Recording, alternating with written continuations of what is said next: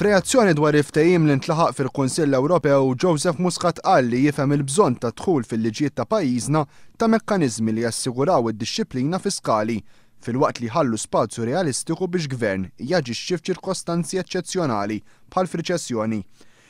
Il-Kap tal-Oppożizzjoni jappella lill-Prim Ministru biex fid-diskussjonijiet intergovermentali tal-ġimgħat li ġejjin jaċċerta li din il-flessibilità tkun assigurata, waqt li esprima t-tħassib tiegħu fir-rigward tal-mandat mogħti mill-Kunsill Ewropew biex jitkejjel rapport dwar aktar integrazzjoni fiskali, Joseph Muscat għamilha ċara li bħala Kap tal-Oppożizzjoni lest jagħti appoġġ lill-Gvern sakemm ma tinqabiżx il-linja ta' armonizzazzjoni fiskali.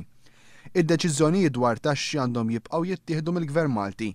Ma jidhirx li din il-linja nqabżet bil-ftehim ta' llum, qal il-Kap tal-Oppożizzjoni.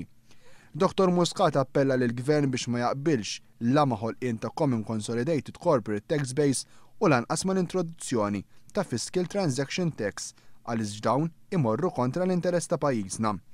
Waqt li żied li jara l-irwol usa' li ngħata lill-Bank Ċentrali bħala pass pożittiv, qal li għandu riservi dwar kemm is-swieq internazzjonali se jħarsu lejn il-ftehim milħuq bħala soluzzjoni għall-inċertezza.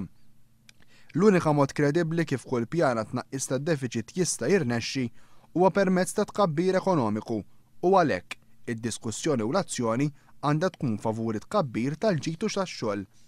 Joseph Muscat qal li l-problemi li ħolqu dawk li ħasbu li jistgħu jiddejnu għal dejjem jistgħu jissolvew biss bil-ħolqien tal-ġid u tax-xogħol waqt li saħaq li lil uliedna il-Partit Laburista jrid iħallilhom ġid u mhux dejn.